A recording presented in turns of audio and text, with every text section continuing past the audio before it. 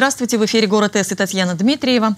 Как отстоять свои трудовые права и положенные по закону выплаты? Как противостоять принуждению к увольнению по собственному желанию? Об этом говорим сегодня. И в нашей студии начальник отдела Государственной инспекции труда в Самарской области Светлана Лютикова. Ваши вопросы задавайте по телефону 202 11 22. Звоните. Здравствуйте, Светлана Игоревна. Добрый вечер. Скажите, пожалуйста, сегодня в настоящее время с какими жалобами чаще всего обращаются в инспекцию? Что-то меняется, содержание претензий или нет? Или все вот типично? Да, ну вы знаете, содержание претензий, оно особенно сильно не меняется, потому что традиционно на первом месте первенство удерживает жалобы, связанные с оплатой труда.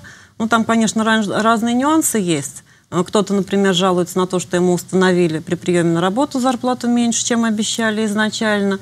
Кто-то жалуется на то, что черную серую, некоторые mm-hmm. даже желтый называют. Часть зарплаты, да, они выплачивают. А желтый это что? Ну вот не знаю, такая терминология у работников встречается, самим любопытно. Mm-hmm. Многие сейчас жалуются на то, что премии не выплачивают работодатели ну и не предоставляют доплаты, которые должны бы предоставлять в соответствии с законом. Почему я спросила? Потому что мы, как известно, переживаем время экономического кризиса, и хотелось бы понять, вот это как-то отразилось все-таки на трудовых отношениях, отношениях работодателя с работниками? Ну, безусловно, это не, это не могло не отразиться, и отразилось, по моему мнению, в самой печальной для работников форме, потому что начали расти задолженности по заработной плате у работодателей по отношению к работникам. А, вот, например, нашумевшая э, ситуация последнего времени, которая у всех совершенно на слуху, это со строительством космодрома Восточный в Амурской области. Mm. Когда вскрылись вдруг неожиданно перед работниками огромные задолженности по заработной плате, миллионные. И сейчас, конечно, вот этому вопросу недопущения таких огромных задолженностей по зарплате и выплате зарплаты уделяется пристальное внимание везде, на уровне правительства Российской Федерации, э, Федеральная служба по труду и занятости и Роструд тоже этому особое внимание уделяют. И вот в этой связи даже состоялось селекторное совещание Роструда не так давно, которое целиком было посвящено именно одному вопросу. Состоянию по задолженности, по заработной плате перед работниками. Вот если работодатель объясняет тем, что ну нет денег, сегодня кризис, у предприятия нет прибыли, нет денег, поэтому мы не выплачиваем. Все-таки в отношении этих работодателей применяются какие-то штрафные санкции, наказания, еще что-то? Обязательно. Обязательно. Вы понимаете, работодатель, если мы вот... сейчас говорим об организациях коммерческих, uh-huh.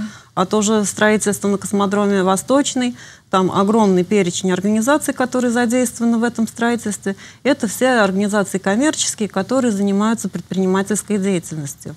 Если обратиться к Гражданскому кодексу, что такое предпринимательская деятельность? Это деятельность, осуществляемая самостоятельно на свой риск. Угу. Направлена на что? На систематическое извлечение прибыли.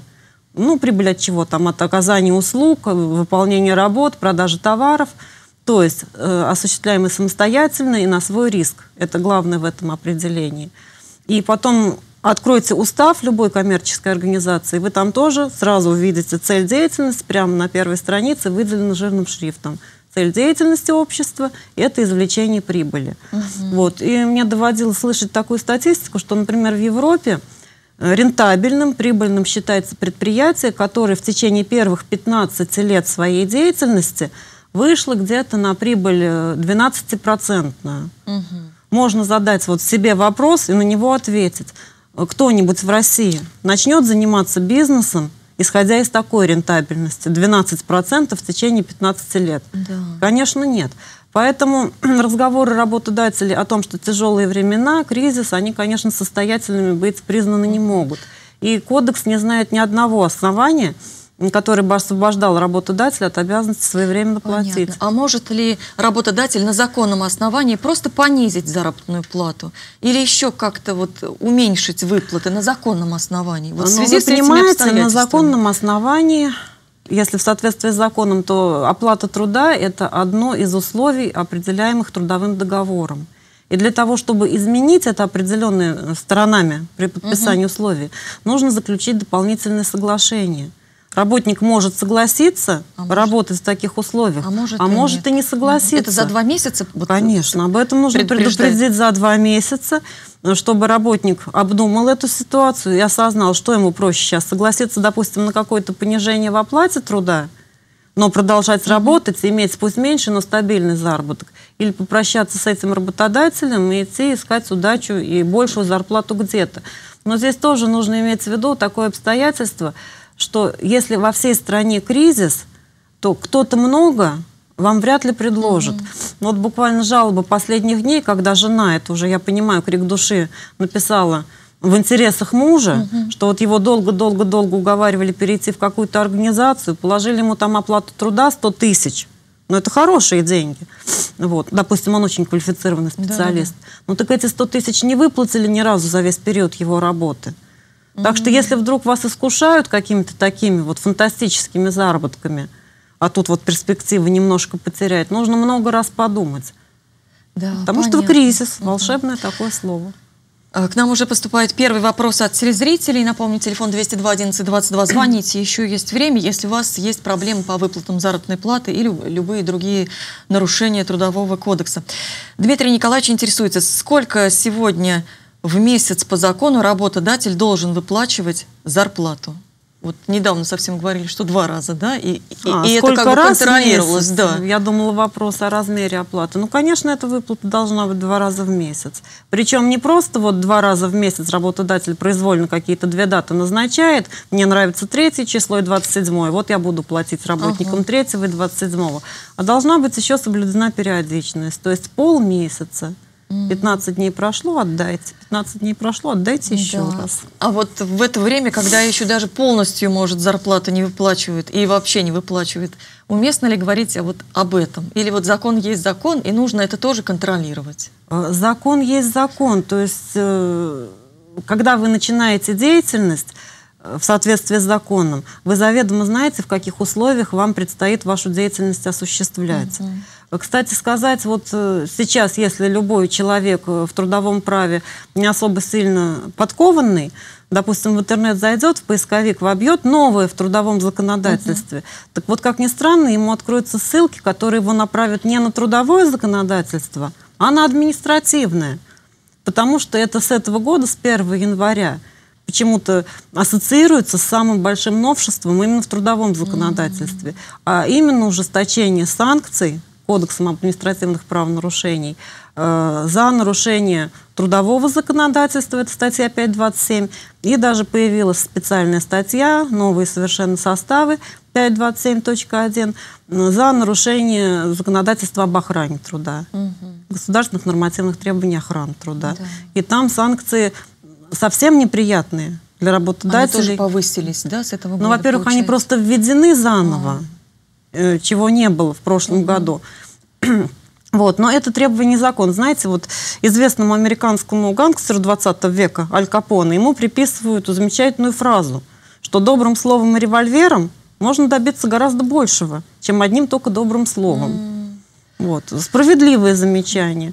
Поэтому Понятно. сейчас работодатели вынуждены одновременно приспосабливаться, выживать в условиях кризиса угу. и в условиях новых санкций, которые угу. к ним применяются. Следующее сообщение. Я работаю в 15-й поликлинике, есть постановление. Медсестра, работая в школе, должна обслуживать 500 детей. На, дальний, на данный момент мы обслуживаем на ставку 600 детей.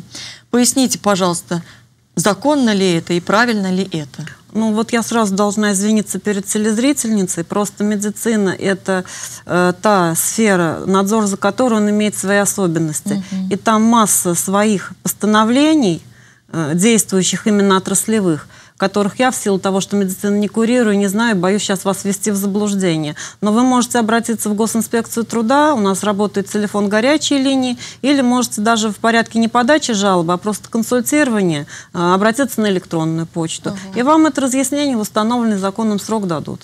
Угу. Какие должны быть именно нормы по количеству вот детей, которые вы должны охватывать. Да. А вот э, сегодня работодатели, они тоже идут на какие-то такие уловки, чтобы не платить своевременно зарплату, вот, чтобы нам знать, какие это могут быть уловки. Ну, вот. какие уловки? Вас, например, работодатель может попросить, напиши, пожалуйста, заявление, что ты согласна один раз в месяц зарплату получать. А, это, да? Ну вот я не могу угу. сейчас, мне тяжело, вот мне деньги только тогда придут, пожалуйста. И работники и если вы соглашаетесь... И если вы соглашаетесь, Тогда... то работодатель нарушает закон и будет подлежать административной ответственности за это. Если вы проверите, если вот инспекция придет... Ну, если проверит. мы проверим, или если вы вот один месяц получите один раз зарплату, угу. другой раз, а вы уже привыкли к тому, что вам два раза отдают, и каждые 15 дней скажете, а что это он меня как? Напишите нам жалобу, мы проверим и накажем. То есть заявления работников, хоть бы они даже золотым пером Паркер написаны, угу они не являются основанием, по которым работодатель может взять и начать платить вам зарплату раз в месяц. Тогда рождается законный вопрос, а почему не раз в три месяца? Понятно. Ну, я согласна, я потерплю, давайте раз в квартал будем мне отдавать. Угу. Нет. А вот если относительно премиальных выплат, раньше были премии всегда, вот с какой-то периодичностью выплачивались. Сейчас время кризиса, и работодатель говорит, вот зарплату плачу, премию нет. Вот с этим стоит соглашаться или нет? Как в такой ситуации Ну, быть? понимаете, по премиям всегда тема болезненная, потому что одна сторона трудовых отношений, работники считают, что им всегда положена угу. премия, а работодатель, наоборот, всегда ищет основания для того, чтобы эту премию или не платить вовсе, или платить прямо минимально-минимально. Здесь на самом деле однозначно ответить на ваш вопрос трудно. Нужно в каждом случае смотреть документы. Но это может сделать и сам работник. Придет домой, откроет свой трудовой договор. А мы знаем, что трудовой договор у работника должен быть. Угу. И вот что там написано. Если в трудовом договоре написано, что работнику устанавливается, допустим, повременно-премиальная оплата труда или сдельно-премиальная, вот именно в такой формулировке, то в этом случае, конечно, можно признать премию составной частью заработной платы, вот ее неотъемлемым элементом. И тогда работодатель эту премию обязан выплачивать. Угу. Другое дело, что даже и в этом случае работодатели умудряются оговаривать не конкретный процент или сумму этой премии, а устанавливать какие-то пределы, вилку какую-то. Угу. Вот. То есть можно получить 1% премирования, а можно 30%. Если же в вашем трудовом договоре просто установлен оклад, или тарифная ставка, то здесь уже все зависит от того, что написано в коллективном договоре, если он у вас есть, или в положении об оплате труда. Но, как правило, ну, это с 90% достоверностью, в локальном акте работодателя будет написано, что премия выплачивается при наличии финансово-экономической возможности. Mm. А кто может оценивать эти финансово-экономические возможности? Только, собственно, работодатель. Да. Понятно, уже как-то круг замкнулся. А следующий вопрос. На каком сроке беременности женщина должна уходить в декрет, работая во вредных условиях в химической лаборатории? Ну, по поводу того, на каком сроке беременности женщине положен этот больничный, это уже определяет не госинспекция труда. Это определяет э, врач, лечащий. И уход... а вот условия труда? Ну, условия труда а, нет, а... они связаны. Если женщина работает в таких условиях труда, во вредных, то работодатель обязан ей предоставить так называемый легкий труд, то есть ту работу, которая mm-hmm. будет исключать воздействие вот этих вот вредных производственных факторов. Если у работодателя такой работы нет – то женщина просто отстраняется от работы, пока ей не представили, но с сохранением своего среднего заработка по прежнему, по своему основному месту работы. А уж в декретный отпуск, наверное, вы пойдете на тех основаниях, которые вот положены по закону 70 дней до угу. родов, 70 дней после родов. Но если будет необходимость полечиться, там, воспользоваться больничными, но это уже, конечно, вопросы не госинспекции. Угу, понятно. И в связи, опять же, вот возвращаясь к кризису, Увеличилось ли э, количество обращений в инспекцию в связи с тем, что в связи с кризисом, опять же, работника увольняют вот под таким предлогом? Сейчас кризис, нам столько работников не нужно, у нас не такой теперь объем работ, мы вас увольняем. Есть такое? Много таких обращений, но опять же они не говорят прямо о самом факте увольнения. То есть э, работодатель, он не идет путем, э, который определен законом. Предусмотрен же Трудовым кодексом процедура высвобождения работников, сокращение численности или штата. Допустим, у вас э, в штате 5 монтажников, вам 5 не нужно, вы одного намерены оставить. Это будет сокращением численности. Если вам монтажники вообще стали не нужны, а вы можете обойтись силами генерального директора, финансового директора, секретаря и бухгалтера, то вы сокращаете штат в этом случае. Но таким путем э, работодатели идут крайне неохотно. Почему? Потому что это, во-первых, сопряжено с э, соблюдением определенной процедуры, в которой тоже нельзя допустить никаких проколов, чтобы потом не быть наказанным органом надзора. А во-вторых, я подозреваю, что главное именно это. Э, это сопряжено с обязанностью производить выплаты выходного пособия при увольнении работников. Причем выходное пособие на один месяц на период трудоустройства, на другой месяц на период трудоустройства. Поэтому работодатели всеми правдами и неправдами, к сожалению, стремятся избежать ситуации, в которой они должны увольнять работников. Здесь запускаются другие механизмы совершенно. Ну, принуждаются работники просто к увольнению по собственному желанию. А, а что делать? Вот что посоветуете? Вот э, вызывает руководитель и говорит, пишите заявление по собственному желанию. Не объясняя, ну как-то вот он знает, какие у него там объективные причины для этого, а вас он просто ставит вот перед таким выбором. Пишите. Это очень непростой Или что, выбор. Вот что это делать? очень непростой выбор, особенно с учетом того, что вот такие недобросовестные действия работодателя э, работники не могут обжаловать никуда, кроме как в суд.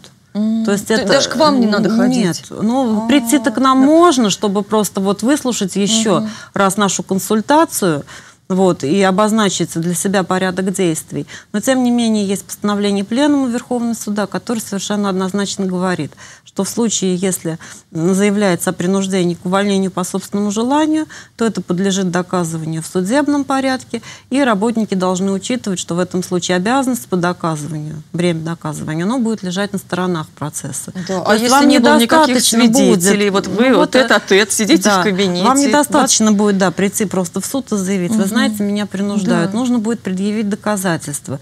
Нам пишут э, письма работники, прикладывают диски, то есть они ведут все равно борьбу за свои угу. права, как могут осуществляют аудиозапись ведут, Диктофон видеозапись, да. Э, включить Но незаметно. здесь опять же это все будет на усмотрение суда, э, будут ли признаны вот эти вот доказательства, представленные вами, относимыми, допустимыми и достоверными. Это уже все на усмотрение суда. Хотя я некоторое время тому назад интересовался этим вопросом и даже смотрел судебную практику, потому что предполагается, что тот человек, э, которого вы записываете, голос или угу. видеоизображение, он должен быть как минимум извещен а, о том, что все это происходит. Да. Тем не менее, есть судебная практика такая, что когда вот работники обосновывают, что такая запись была проведена без извещения угу. работодателя, не потому, что на него компромат собирался, а потому, что это способ отстаивания собственных угу. прав. То есть я должен был как-то вам доказать, что меня принуждают. Этот аргумент был принят судом. А, ну, вот это тоже нужно знать. Ну, понятно, Но это, что если предупредить практика. руководителя, что вот то, что вы сейчас скажете, я запишу на диктофон, то конечно, руководитель он... скажет, идите работайте, и мы вам еще зарплату повысим. Да, ну вот тоже своего рода отстаивание своих прав, даже если вы Но работник имеет да, право да. Да, отстаивать свои угу. права всеми незапрещенными законом способом, но, к сожалению, зачастую работники забывают, что вот надзорный орган, угу. госинспекция труда в частности, это не единственный способ, к которому они могут прибегнуть в защите своих трудовых прав. Это и обращение в профсоюзы угу. может быть, а, да. это может быть обращение и в комиссию по трудовым спорам, которая у работодателя угу. может быть сформировано, и это обращение в суд, суд. в конце концов. Следующий вопрос от Александра. Я работаю в МРСК «Волги», смена сутки на трое, э, да, три человека в смене, и так мы работаем в течение года. Во время отпуска подмены у нас нет, и мы дежурим сутки через двое. Причем в этом случае у нас нет ни доплат, и отгулов нам тоже не дают. Нарушение это, и, и сможете ли вы помочь? Э, вы напишите к нам обращение по этому поводу. Э, сейчас невозможно категорически вам ответить ни да, ни нет, потому что как минимум нужно посмотреть документы работодателя угу. и установить, какой режим работы определен. Если это работа в условиях сменности, графиков угу. сменности, то введен, безусловно, суммированный учет рабочего времени. Нужно смотреть, какой вам установлен учетный период. И по окончании только лишь учетного периода работодателем определяется, была ли переработка, в каком количестве и, соответственно, оплата да, этой да, переработки. Да, да, да. Потому что Поэтому, можно договориться между если, сменщиками. Да, вот. Если вы сомневаетесь, э, что вам что-то не доплачивает работодатель, обратитесь. Но, в принципе, вот названная организация угу. э, особыми нарушениями, ну, по крайней мере, вот из того, что нам поступает, не отличается. Но если есть какие-то сомнения, пожалуйста, да. обращайтесь. А вообще вот эти вопросы, когда кто-то вот из коллег уходит в отпуск, а другой его заменяет, как они по закону вот ну, разумно по закон, должны решаться? По закону, в принципе, вот эта нагрузка Да, но эта доплата, она опять же устанавливается по соглашению сторон. А -а -а как э, работодатель, угу. тот работник, на которого возлагается выполнение этой дополнительной работы, совмещение, допустим, должностей, профессий. То есть он в течение рабочего дня смены наряду со своей основной угу. работой делает еще работу дополнительную. Вот это как раз все определяется соглашением сторон. То и заранее все это нужно. Это письменно да, оформляется, да. и в любом случае работник в любой момент имеет право отказаться от этого совмещения, тоже уведомив работодателя. Угу, угу. И хочется сразу сказать, что кодексом не определены какие-то конкретные размеры, допустим, там двойная оплата или коэффициент 0,5 применяется меняется или 30% устанавливается. Все будет зависеть от того, как вы договоритесь с работодателем. Галина Ивановна сообщает, что ее сына уволили и сказали, чтобы он написал заявление по собственному желанию. А у него двое маленьких детей, один ребенок 8 лет инвалид, жена у него не работает. Имеют ли право они так с ним поступить? Ну, принуждать к увольнению по собственному желанию не имеют права никого. Вот. То есть это однозначно Э, действия работодателя вне правового поля. Как поступать работнику в этой ситуации? Если он не хочет увольняться по собственному желанию, значит, он просто не должен писать этого заявления угу. и продолжать выполнять а его свое... уже уволили. Так вы смотрите, из вопроса, то ли его уволили, угу. то ли только еще заставляют написать заявление. Сына уволили, сказали, чтобы он написал. То есть он написал, и его уволили. Ну, значит, только через суд. Теперь в суд обращаться. Теперь уже исключительно угу. туда. Светлана, существует ли ограничение в возрасте для работающего пенсионера, на основании которого ему могут предложить уволиться? Нет, если этот пенсионер э, какими-то специальными федеральными законами, как, например, государственной гражданской службе, не установлен предельный допустимый возраст, то, ради бога, пенсионер может продолжать свою деятельность столько, сколько вот он желает, и пока у него есть силы. И опять я так понимаю, что весь вопрос ситуации сводится к тому, что предлагают уволиться. Mm -hmm. Вот. Еще опять же, то, что касается пенсионеров – то не исключен, только не исключен вариант, что пенсионер работает на основании срочного трудового договора уже. Это законно, это допустимо и часто используется работодателями. Но здесь тогда уже просто, скорее всего, по окончании срока этого трудового договора не будет, не будет перезаключен. Понятно. Скажите, договор. пожалуйста, сможет ли специалист трудовой инспекции вмешаться в ситуацию, когда работнику только предложили написать заявление, сказали, так, вот мы тебе предлагаем написать заявление по собственному желанию но он еще не написал, обратился к вам, и сможете ли вы вот на законных основаниях если, вмешаться и как-то вот разрулить или нет? Если, если он нас услышит и внемлет, и поймет, что не нужно писать этого заявления, и попробует продолжить работать вот в тех условиях, которые ему наверняка создаст работодатель, э, то значит он продолжит свою деятельность. Если же нет, я повторюсь еще раз, в эту ситуацию мы уже никак не вмешаемся. Mm -hmm. Нам для того, чтобы вмешаться и принять меры какие-то инспекторского реагирования, нужно событие. То есть, когда оно окончено, и права работника уже каким-то образом, очевидно, нарушены. Или даже не очевидно, но все равно факт состоялся. И еще работники в этой ситуации должны учитывать, что восстановление на работе – это не компетенция инспекции это как раз то, что относится к исключительной компетенции суда. Вне зависимости от основания увольнения. Даже если вы уволились по собственному желанию, но хотите теперь восстановиться на работе, вам все равно нужно в суд обращаться. Угу. Наталья, при трудоустройстве забрали СНИЛС для копии. С тех пор мне только обещали его вернуть, но все безрезультатно. После увольнения на мои просьбы вернуть документ получаю отказ. Вот это как? Ну как? Нужно... А, а им зачем? Вот ну, это тот вопрос, на который на самом деле невозможно ответить. Почему работодатель таким образом поступает? Вот. Обязаны, конечно, вы были только предъявить его при поступлении на работу. -huh. И чтобы работодатель в личном деле имел копию этого удостоверения. Ну, напишите письмо работодателю, потребуйте вернуть вам.